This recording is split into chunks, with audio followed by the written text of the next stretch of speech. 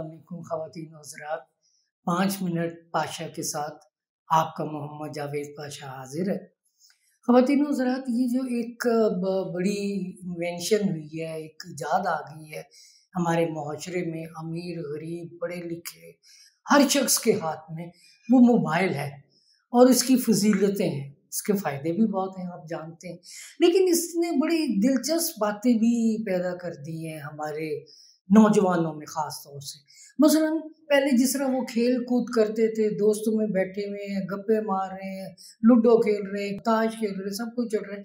अब हर बंदा अकेला अकेला और एक कोने में छुपा बैठा मोबाइल के साथ लगा हुआ उसे ना दीन का होश है, ना दुनिया का होश है। ना माँ बाप की आवाज़ कान में पड़ रही है, ना कोई दरवाजे का पता चल रहा है, ना कोई बैल का पता चल रहा है।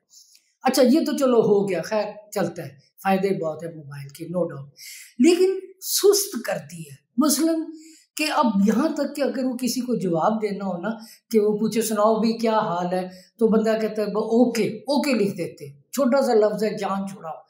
अच्छा अब उससे भी आगे सुस्ती क्या आ गई कि सिर्फ़ के लिखे। कौन ओ लिखे? पता नहीं, उसके लिए रिक्शा कराना पड़ता है, क्या करना पड़ता है? ओके पूरा नहीं लिखते, सिर्फ़ के लिख देते हैं कि मैं ठीक हूँ।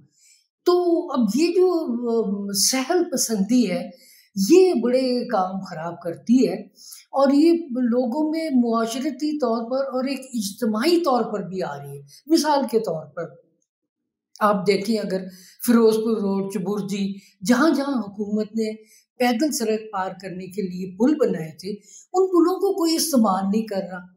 कौन सीढ़ियाँ चढ़े, कौन सीढ़ियाँ उतरे फिर कौन करे? तो वो सारा काम जो है ना, वो इस सुस्ती के तहत हो रहा है कि सुलाखें टेढ़ी करके जो लोहे की आम हालात में किसी औज़ार से भी वो टेढ़ी ना हो, वो हाथों से जवानों ने टेढ़ी कर ली है और वहाँ से रास्ता बनाया है।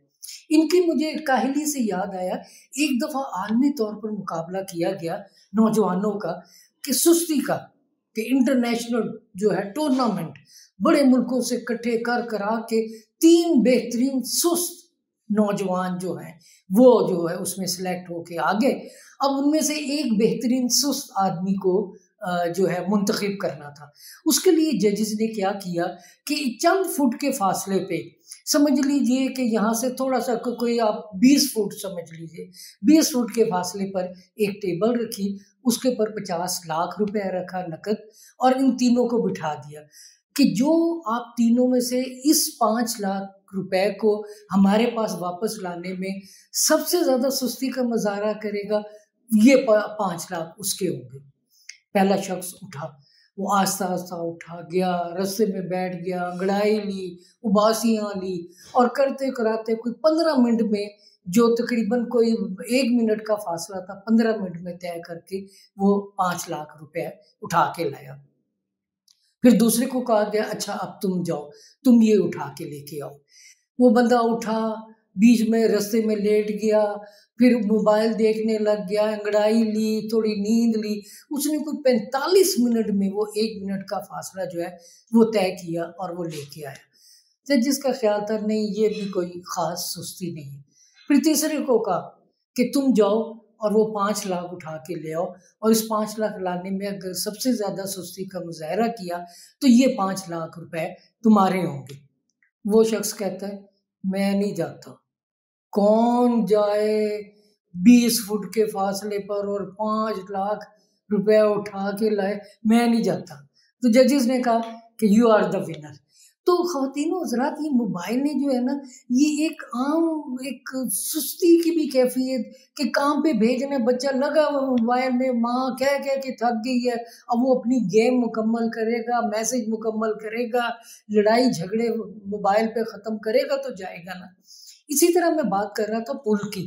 तो जो हुकूमत ने पुल बनाने के, चलो यहाँ से सड़क पार करने इतनी ट्रैफ़िक है, गुजरना मुश्किल होता है खातन का, बच्चों का, बुज़ुर्गों का, ख़ास तौर से। तो लोग जो जवान और सब लोग जो है, वो पुल के ज़रिए सड़क पार करने के, कि कौन सीढ़ियाँ चढ़े, वो बीच में से ही गुजरते हैं। तो फिर हुकूमत ने देखा कि जी इसका तो कोई फ़ायदा नहीं। मैंने इसका जायज़ा लिया खुफिया तौर पे, जिस तरह इशफाक साहब इस किस्म के काम किया करते हैं। तो मैंने जाके पुल पे देखा तो वहाँ एक अजीब रौनक लगी हुई थी। बुज़ुर्ग लोग ताश की बाजी लगा रहे हैं और मालिशा जो है, एक के मालिश कर रहा है, एक कान में मैल निकालने वाला बैठा हुआ है, एक स्टूडेंट पढ़ रहा है, एक बंदा मोबाइल से कर रहा है, एक बंदा अपने कपड़े धो के, सुखा के उस पुल की जो ग्रिल है उसके ऊपर लटका रहा है, एक छाबड़ी वाला बैठा है, एक बंदा बैठा नान चोले खा रहा है। तो एक अजीब रौनक लगी हुई थी। उसी पे इश्तहार भी लगे हुए हैं और कपड़े भी सूख रहे हैं। तो पुलों का फ़ायदा तो होगा ना? तो एक इससे और ज़्यादा दिलचस्प वाक्य मेरे साथ ये पेश आया कि मैं एक दफ़ा चुबुर्जी पे खड़ा था। अभी चुबुर्जी की मौजूदा सूरत हाल नहीं थी। मैंने देखा कि एक बुज़ुर्ग आदमी पुल पार करके सीढ़ियाँ उतर के आ रहे हैं। सुबह का वक्त था, मैं भी दफ्तर जा रहा था, आठ बजे का वक्त था। स्टूडेंट लोग सब भाग भाग के जो उसमें से सुराखों में से सड़क पार कर रहे थे। मैंने वो जब वो आया, बुज़ुर्ग मेरे पास से गुजरा, सीढ़ियों के ज़रिए पुल पार करके सड़क पार करके। तो मैंने उन्हें रोक के सलाम किया। मैंने कहा, बुजुर्गो, मुझे बड़ी खुशी है कि सुबह का वक्त है। हर बंदा जो है, वो देखें भाग भाग के लोहे की सलाखों से गुजर के पुल पार कर रहा है, सड़क पार कर रहा है। आपने पुल के ज़रिए सड़क पार की है। इस उम्र में मैं आपकी इस हिम्मत की दाद देता हूँ। उस पर उस शख्स ने ताजुब से मेरी तरफ़ देखा और मुस्कुराया और बोला, सड़क किस कम वक्त ने पार की है? मैं तो नाश्ता करने नीचे उतरा हूँ। तो खातन हजरात, हमारे यहाँ पुलों के साथ इस तरह से कुछ हो रहा है कि उसके वो फ़ायदे उठाए जा रहे हैं जिन मकासद के लिए लिए नहीं बना था। लेकिन आप कोशिश करें कि एक्टिव रहें, होशियार रहें तनो ताज़ा रहें, खुश रहें और खुश रखें। अल्लाह हाफिज़।